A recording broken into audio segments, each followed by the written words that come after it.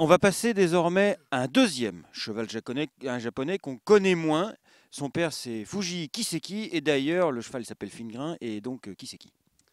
Eh bien, Fingrin est donc effectivement un fils de Fuji Kiseki, qui est un des meilleurs fils de Sunday Silence actuellement au Japon, en tant que reproducteur. Lui est très bien né. C'est un fils de Milgrain et une propre sœur de Purgrain, qui était une gagnante notamment des Oaks irlandaises et des Yorkshire.